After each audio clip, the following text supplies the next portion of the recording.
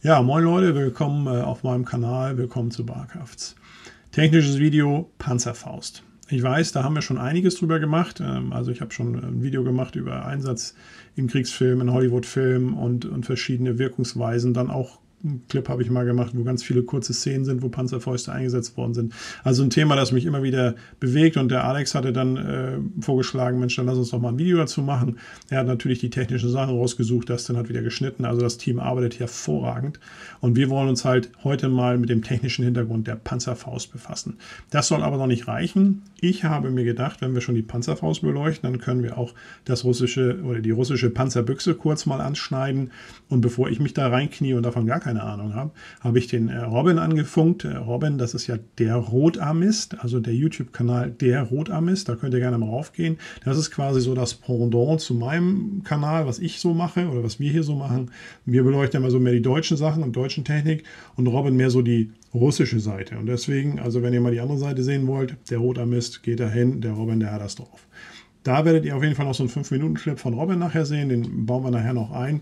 Auf jeden Fall am Ende des Tages sollt ihr alle wissen, wann wurde das Ding entwickelt, wofür wurde das entwickelt, wie hat das funktioniert, wie wurde es eingesetzt und war es tatsächlich die Panzerabwehrkanone des kleinen Mannes und war dadurch die Zeit der Panzer eigentlich erledigt, weil jeder hinter jeder Hausecke mit so einer Panzerfaust konnte dann einen Schermenpanzer abschießen. Werden wir sehen. Ich würde sagen, wir steigen jetzt mal ein. Ihr kriegt ein bisschen technische Informationen, ein paar schöne Bilder und ich hoffe, am Ende des Tages könnt ihr alle was mitnehmen. In diesem Sinne, schnallt euch an, wir legen los. Wir mal los mit der Panzerfaust. Also wir müssen ja erstmal an den Anfang des Krieges gehen, also Anfang des Zweiten Weltkrieges. Was hatten die Truppen da? Da waren in allen Armeen die Panzerbüchsen äh, verheimatet oder verortet. Und zwar waren das ja nun wirklich langläufige, großkalibrige Gewehre, mit denen man durch Panzerung durchschießen konnte. Also die Wehrmacht hat natürlich auch solche Sachen und somit äh, zog die Firma, äh, die Firma, zog die Wehrmacht natürlich äh, im Zweiten Weltkrieg mit der Panzerbüchse 38 und Panzerbüchse 39 ins Feld. So, jetzt muss man aber auch sehen, dass die äh, Modelle ähm, waren den, also den neueren Fahrzeugen, neueren Panzern, so wie Sherman T34 KW, nicht mehr gewachsen, weil die Durchschlagskraft einfach nicht mehr da war. So, ähm, Anders als bei den Packgeschützen gab es hier nicht die Möglichkeit, größere oder schwerere Modelle zu bauen. Was konnten die Jungs ja nicht mehr tragen? Also ich kann ja nicht so ein 50 Kilo Ding mit mir rumschleppen, da bin ich ja äh, gleich totenfertig. So, was machte die Truppe, um sich gegen diese ganzen Panzerfahrzeuge zu wehren, vor allem gegen den T-34? Man baute geballte Ladungen. Da haben wir ja schon öfter in den Videos drüber gesprochen. Es wurden T-Minen verwendet und auch Brandmittel, die dann auf den Heckbereich geschleudert wurden. Das war alles nicht sehr befriedigend. Ähm, die Industrie hatte dann den Auftrag, auch diese sogenannten Panzernahkampfmittel zu entwickeln. Das waren dann auch diverse Gewehrgranaten oder äh, Hafthohlladungen oder Panzerwurfminen. Ähm, das war immer noch nicht so richtig ausgegoren. Vor allen Dingen, es ging ja hier immer um das Hohlladungsprinzip. Wer das ja nicht kennt, das ist ja quasi der Trichter, in dem eine bestimmte Substanz, also Sprengstoff, abbrennt. Die explodiert ja, dann bildet sich ja ein Stachel, Plasma äh, wird verdichtet. Also äh, ist schwierig zu erklären, will ich auch gar nicht darauf eingehen. Auf jeden Fall ein Hohlladungsprinzip mussten die schon alle haben. Ja, die Hohlladung war schon eine gute Idee, aber trotzdem mussten die Jungs ja ran an den Panzer. Das heißt, ein Panzer wird ja durch Infanterie gedeckt und wenn ich dann vorlaufe und so eine Hohlladung ransetze, werde ich von der anderen Infanterie quasi ähm, ja, bekämpft. So. Das heißt, es hieß, war immer ein Himmelsfahrtskommando. Und deswegen musste man was erfinden, was mindestens weit, also was weit genug weg war und den Panzer trotzdem penetrieren konnte. So, dann müssen wir uns mal die sogenannte HASAG anschauen. Also das ist die Firma Hugo Schneider AG. Das war eine Metallwarenfabrik. Und äh, dort entwickelt, entwickelte man Ende 41 am Standort Leipzig unter dem äh, Dr. Heinrich Langweiler eine, äh, ja, eine Einwegwaffe zur Panzerbekämpfung. So, also bei der Entwicklung musste man sich ja irgendwo dran orientieren und dann hat man quasi die sogenannten Panzerwurfminen genommen und hat sich die nochmal genau angeschaut und hat auch gesagt, wow, das ist auch wirklich gefährlich, wenn die runterfällt und so weiter. Da müssen wir was Neues konzipieren. Und der Dr. Langweiler löste dieses Problem quasi mit dem Hochladungsgeschoss der Panzerwurfmine 41. Und zwar hat er dann eine 35 cm lange Treibkartusche äh, entwickelt, womit diese Faust, also diese äh, Wurfmine, äh, verschossen, verschossen werden konnte. So, jetzt muss man auch sehen, dass diese erste Entwicklung, also die Faustpatrone 43, so wurde das bezeichnet, das war noch nicht so richtig gut gelöst, weil das Geschoss nicht stabil flog. Und wenn es nicht stabil flog, dann äh, trifft es auch nicht da, wo man treffen will. So, jetzt muss man wissen, ein Geschoss aus einer Kanone, aus einem Gewehr hat ja einen gewissen Drall, also durch die Rotationsgeschwindigkeit stabilisiert sich das ja. Bei so einer Waffe war das unmöglich. Das heißt, man musste was entwickeln, um diese Stabilisierung hinzubekommen. Und somit wurde der Flügelschaft am Leitwerk oder ein Flügelschaft entwickelt, der eine Art Leitwerk darstellte und dadurch wurde dieses Geschoss stabilisiert. So, man nahm nun ein 80 cm langes Abschussrohr, das war quasi der Schaft und diente auch zur Aufnahme vom Geschoss und auch der Treibladungskartusche. Somit konnte man damit viel, viel leichter zielen und die Handhabung war auch relativ einfach. Ähm, diese Variante war eigentlich rückstoßfrei, also man wurde nicht wie beim Gewehr, kriegte nicht den Schlag in die Schulter oder beim großen Tankgewehr kriegte man diesen wahnsinnigen Rückschlag ab. Also wer schon mal mit Macmillan geschossen hat, der weiß, wovon ich rede. Problem hier entstand aber auch, dass die, sagen mal, die Treibgase und alles, was so rauskam aus dem Rohr, das ging ja nach hinten raus. Das heißt also, wer hinter so einem hinter Panzerfaust stand, kriegte natürlich den ganzen Segen ab. Und natürlich wirbelte das auch wiederum Staub auf, also war man schneller zu erkennen. Und die Reichweite war noch nicht so, dass man sagen konnte, das ist es. Nicht? Ja, das, was dann herauskam, war natürlich noch nicht das Ende äh, der Entwicklung, sondern das war jetzt quasi die Faustpatrone 1 bzw. die Panzerfaust 30 oder später wurde die auch als Panzerfaust klein bezeichnet.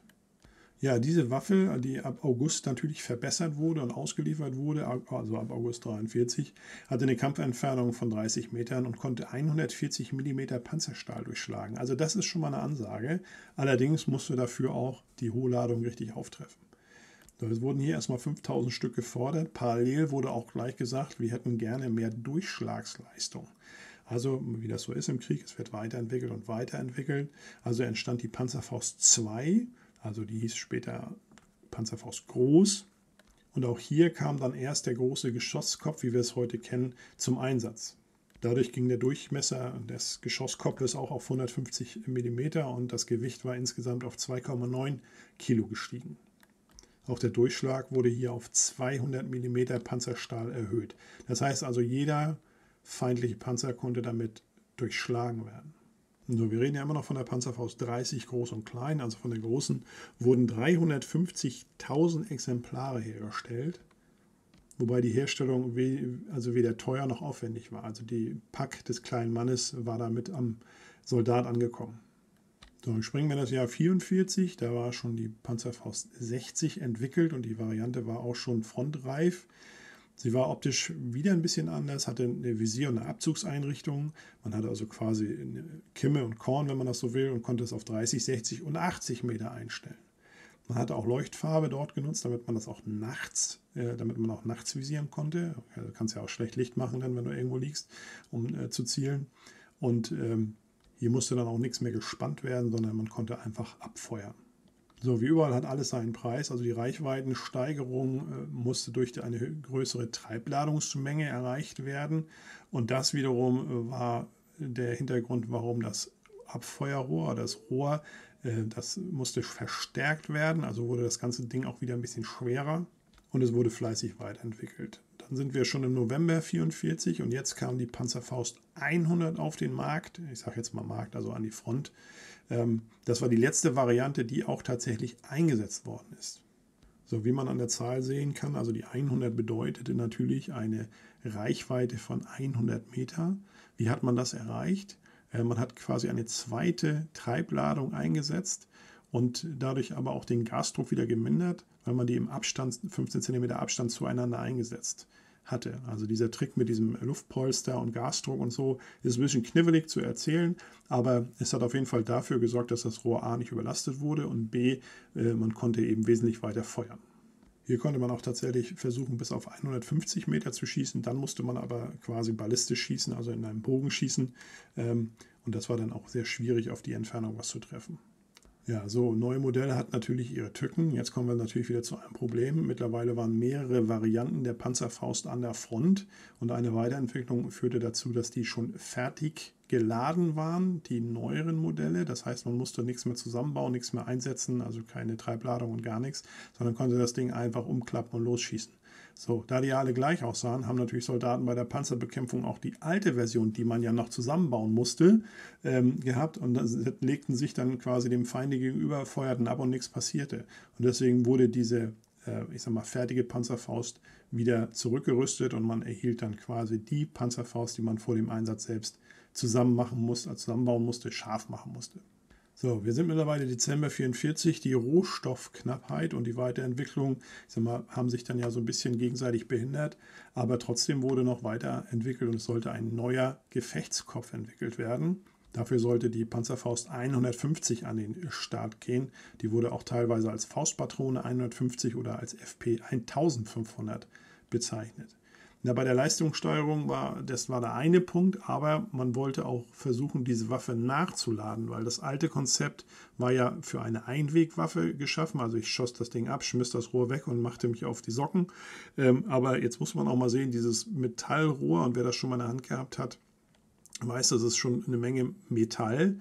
Ähm, und bei 6,5 Millionen produzierten Panzerfäusten, das sind tatsächlich so viel gewesen, reden wir auch von 6,5 Millionen Abschussrohren. Und so hat man sich gesagt, naja, wenn ich das Abschussrohr wieder benutzen könnte, dann wäre das ja quasi nachhaltig. So, um das auch richtig zu stellen, also wir haben hier widersprüchliche Literatur gehabt. Also in der einen Literatur wird gesagt, die Panzerfaust 150 war einschüssig, also Einweg. Und in anderer Literatur war es dann mehrschüssig, also eine Waffe, die man nachladen konnte. Beides ist soweit richtig, aber später durch die äh, Entwicklung, dass die Treibladung im Gefechtskopf saß, konnte man das dann auch nachladen. So, bei der 150er hatten wir jetzt das Kaliber 105 mm statt, statt also 140 mm. Dadurch wieder eine erhöhte Durchschlagsleistung, das war bis 300 mm. Und die Reichweite wurde auch wieder erhöht durch eine andere konische Form des Gefechtskopfes. Das Rohr war mittlerweile 1,3 Meter lang. Ähm, bei Visiereinrichtung, Abzug war alles ähnlich. Und äh, dort waren aber die Marken 50, 150, also 50, 100, 150 und 200 Meter drauf, also bis 200 Meter Wirkung gegen Ziele. So, was machten diese Soldaten, wenn sie jetzt Panzerfäuste hatten und mussten gegen Infanterie kämpfen, nicht gegen Panzer?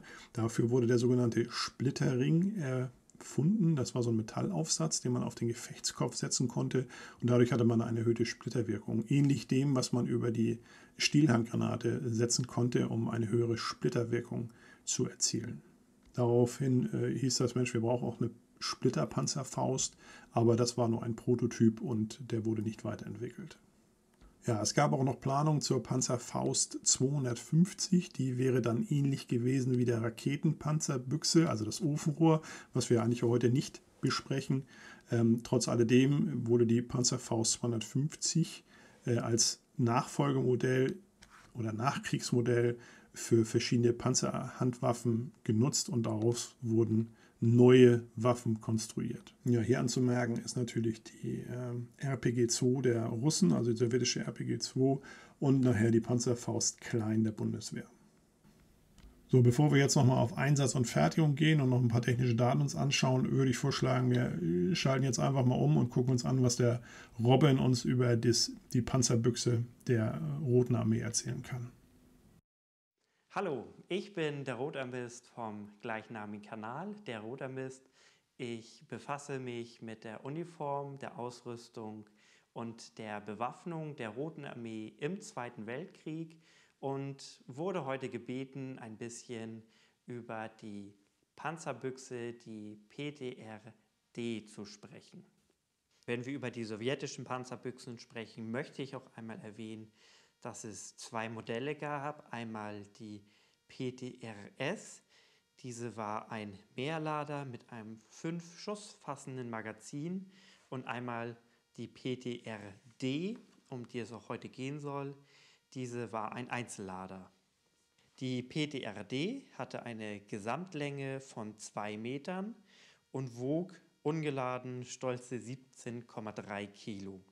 Das Patronenkaliber betrug 14,5 mm mal 114. Der Auftrag zur Entwicklung der Panzerbüchse erfolgte bereits Anfang Juli 1941 und Ende Oktober, Anfang November konnten bereits die ersten 300 PTRD-Panzerbüchsen an die Truppe ausgegeben werden. Bis zum 30. Dezember 1941 konnten bereits 17.688 PTRD hergestellt und zum großen Teil an die Truppe zur Bekämpfung der Panzerwaffe der Wehrmacht eingesetzt werden. Bis zum Ende ihrer Produktion im Dezember 1944 oder Januar 1945 wurden ungefähr 282.000 Stück produziert und ausgegeben. Die PTRD-Panzerbüchse erwies sich gerade in den ersten Kriegstagen als extrem wirkungsvoll gegen alle eingesetzten Panzer der Wehrmacht. So konnten sie mit hoher Erfolgsquote alle leicht gepanzerten Fahrzeuge, leichte sowie mittlere Panzer durchschlagen. Und selbst wenn es dort Probleme mit dem frontalen Beschuss gab, bestand immer noch die Möglichkeit, diese im seitlichen Beschuss oder im Beschuss von hinten außer Gefecht zu setzen. In den späteren Kriegsjahren erwies sich ihr Kaliber und ihr Durchschlag allerdings zu gering, so dass die Produktion der Panzerbüchsen zurückgefahren wurde und diese auch nicht mehr so häufig gegen Panzer eingesetzt wurden. Die PTRD wurde dann noch zur Bekämpfung von leicht gepanzerter Fahrzeuge eingesetzt sowie zum Beschuss von Bunkerscharten und Maschinengewehrnestern sowie Geschützstellungen, welche hinter leichten Sandsackstellungen oder Erdwellen geschützt lagen. Die Bekämpfung von Flugzeugen war für die PTRD zwar vorgesehen, machte aber keinen Sinn und zeigte auch keinen Erfolg. Über die Funktionsweise der PTRD möchte ich einen kurzen Absatz aus dem Buch Die Waffen der Roten Armee, Infanterie und Artillerie zitieren. Nach dem Schuss glitt der Lauf auf der Schulterstütze nach hinten. Der Kammerstängel traf auf die Steuerkurve, diese drückte ihn nach oben und entriegelte dadurch den Verschluss. Der Verschluss glitt weiter zurück, zog dabei die Patronhülse aus dem Patronlager und stieß sie aus. Eine Feder drückte den Lauf wieder nach vorne, wobei der Verschluss offen blieb zur Aufnahme einer neuen Patrone. Der Schütze 1 hatte nur die Bedienung der Waffe, also das Schießen als Aufgabe, während der Schütze 2 die Munition trug, nachlud und auch repetieren sollte. In der Praxis war es dann doch häufig so, dass der Schütze 2 nur die Patronen angab und der Schütze 1 alles erledigte oder in einigen Fällen gab es auch gar keinen Schützen 2. Dort war ein einzelner Mann mit den Patronen sowie der Waffe alleine unterwegs. Ja, kommen wir nochmal zu Einsatz und Fertigung, nachdem wir nun das Video von Robin gesehen haben. Diesem, auf diesem Weg nochmal, Robin, vielen Dank. Ihr seht am Ende nochmal den Link bzw. den Verweis auf die Seite von dem Rotarmisten. Würde mich freuen, wenn ihr da mal reinschaut. Das ist wirklich interessant und ich hole mir meine Informationen über die Rote Armee auch da bei dem Robin immer. Gut, also Einsatz und Fertigung der Panzerfaust. Ähm, müssen wir nochmal genau schauen. Also die Panzerfaust wurde ja in der gesamten Wehrmacht verwendet. Und es gibt natürlich eine Menge Bilder, wo man das sieht. Also einmal bei der HJ, die sind ja dann los mit Fahrrädern, hatten auch zwei Panzerfäuste mit und dann auch alte Männer, also der sogenannte Volkssturm, der dann die Dinger auf, Schulter, auf der Schulter hatte und losmarschiert ist. Ja, bei der HJ zum Beispiel war das die sogenannten Panzervernichtungsbrigaden der HJ, die dann quasi gegen russische und amerikanische Panzer vorgingen. Kommen wir auch mal zur dunklen Seite der Panzerfaust.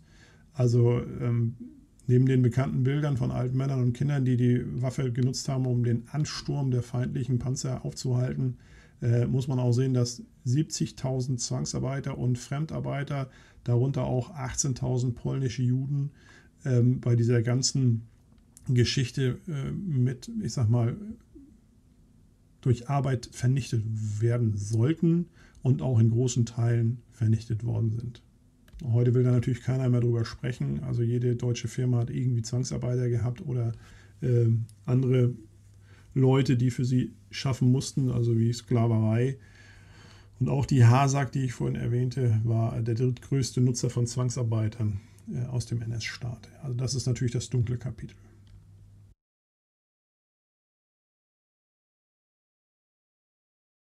So, jetzt seht ihr hier nochmal eingeblendet die einzelnen technischen Daten zu den verschiedenen äh, Waffensystemen. Die könnt ihr euch nochmal alle anschauen und nochmal genau nachlesen, was ich euch jetzt quasi lang und breit erzählt habe.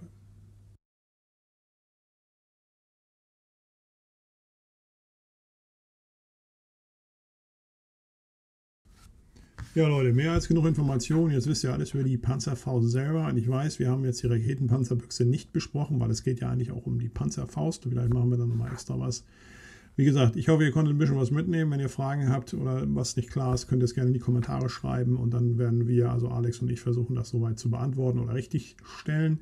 Wenn wir es falsch gemacht haben, kommt das natürlich in den Fehlerteufel rein und ich hoffe, dass ähm, euch das gefallen hat. In diesem Sinne kann ich nur sagen, würde mich freuen für einen Daumen hoch, Daumen runter akzeptiere ich, für ein Abo bin ich immer dankbar. Ansonsten wünsche ich euch alles Gute, bleibt gesund und auf bald.